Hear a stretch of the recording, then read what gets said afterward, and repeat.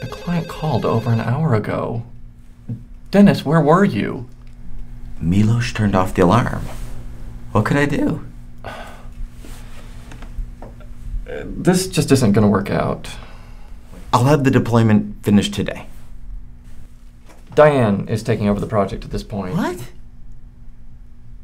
I've already done all the work. Why don't you take some time to, to look at your long range goals? Uh, take Milos on a vacation. When was the last time you took a cruise? I have vacation scheduled next month.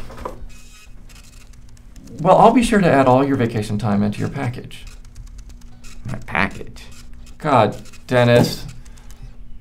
Don't be dense. You're terminated.